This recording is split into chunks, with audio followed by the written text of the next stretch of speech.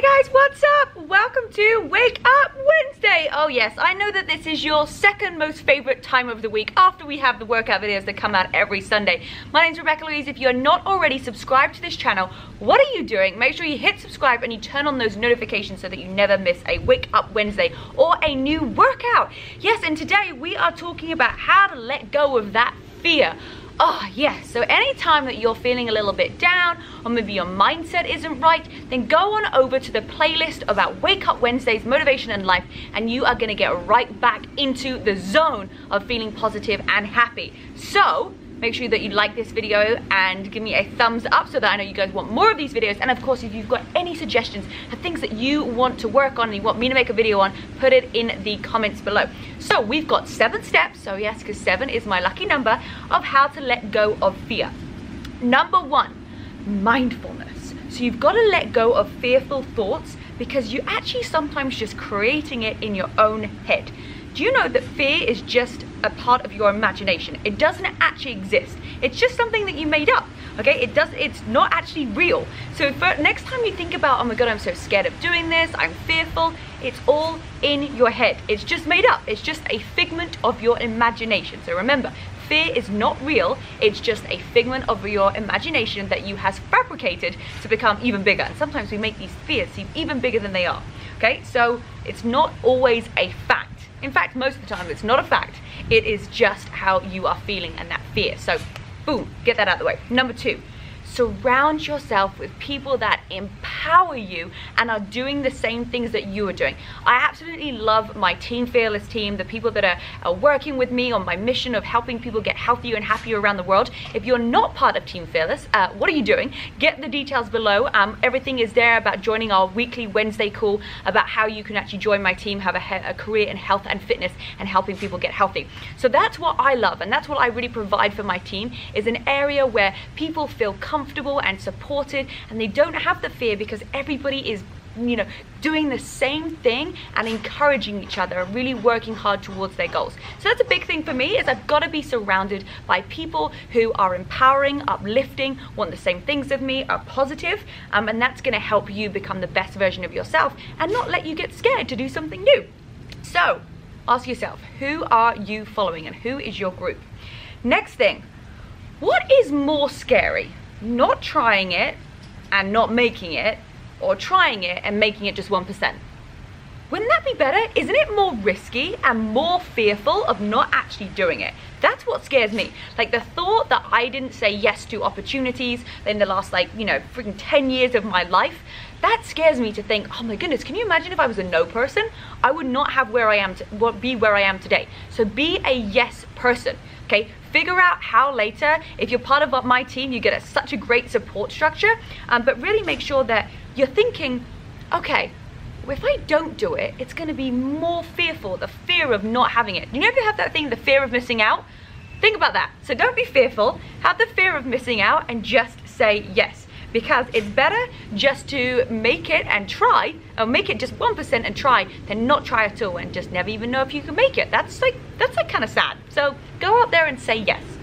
Number four all you gotta do is become 1% better every single day. Just 1% learn from something that you did yesterday that you want to change. Now it doesn't matter if you completely fix it and you're perfect the next day, that's probably not gonna happen, but recognizing the fact of how you feel and that you want to get better every single day is gonna help and put out that fear. So progress is everything. It's not about perfection, it's just about progress. Can you get better every single day? 1%, that's good enough. Over like 30 days, you're gonna be like 30% better. That's pretty awesome.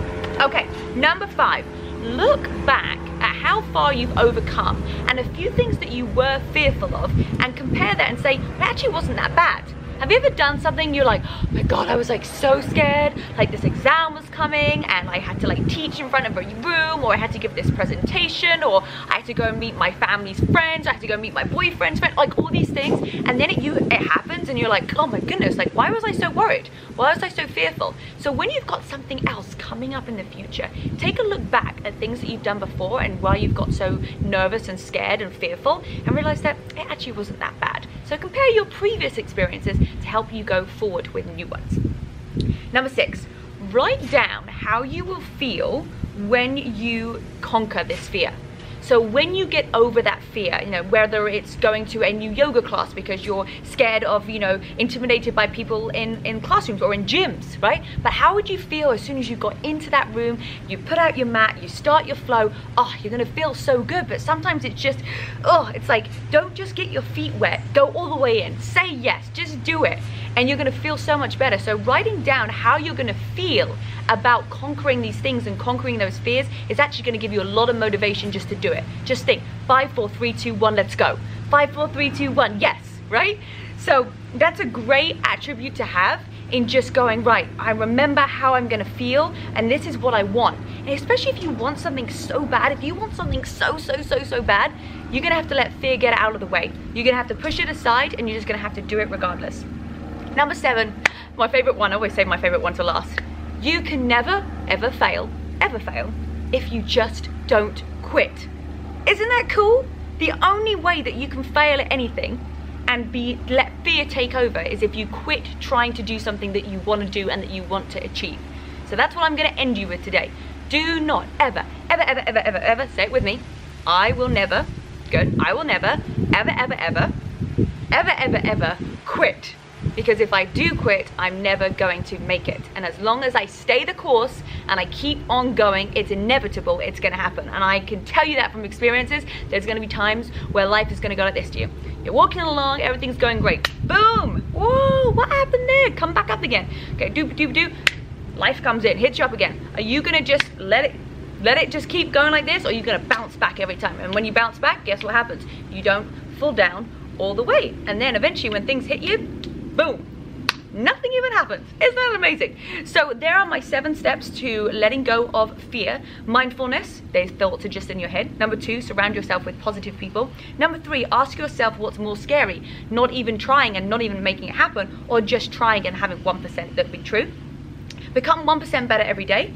Look back and see how far you've come with experiences that you've already achieved and got rid of that fear. Number six, write down how you feel, how you're gonna feel when you've conquered those fears. And number seven, you can't fail if you never, ever, ever, ever quit. Thank you guys for watching Wake Up Wednesday. I hope you enjoyed it. Make sure you check over my Instagram, Rebecca Louise Fitness, for all fitness tips. I show you what I do throughout the day. And if you wanna hear more about nutrition, Rebecca Louise Nutrition has got all my recipes about my team Fearless. And uh, look, I've even got a bracelet for everybody who's in my team. If you guys can see that, it says fearless okay guys well i hope you are having a wonderful week um, we've actually just got some exciting news about our retreat as well so if you are looking to come on a retreat next year in bali in september it's going to be phenomenal the place that we have got is exclusive it's all for us I'm so excited. Our last retreat was like off the chain. We're gonna have to like work super hard to make it even better than the last one. Um, but you can just look at some of the testimonies from people who come last year. We've already got a ton of those people who re-signed up, which just shows that it was a very good retreat. So if you wanna come away with me to Bali, learn about health, nutrition, how to become the best version of yourself, personal development, growth, uh, then book your spot. We've got an early bird discount for just a short period of time. So I'll also put the link in the description below as well. And I can't wait to meet more of you there. Guys, have a wonderful day. Bye.